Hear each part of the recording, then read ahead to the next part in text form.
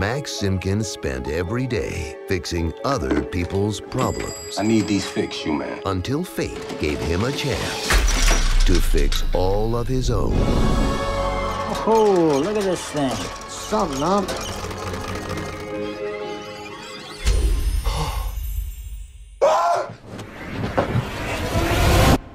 I could be anybody I want.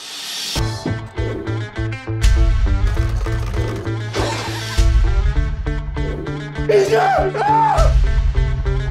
a woman. No, I'm not. My boyfriend wanted me to drop these off. No charge. Come on up. I'm about to take a shower.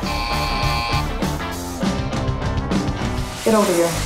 Oh, you gotta be kidding me. It's a responsibility to walk in another man's shoes. What's going on? What the hell? You acting all crazy? I took some money that doesn't belong to me. What the? I'm not blind, Max. I've seen it before. You have not seen this before. Trust me. You get the rest when the job is done. You smell something?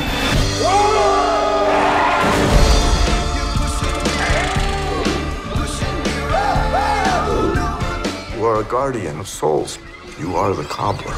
You mister, you okay? Kid! I'm not gonna eat you!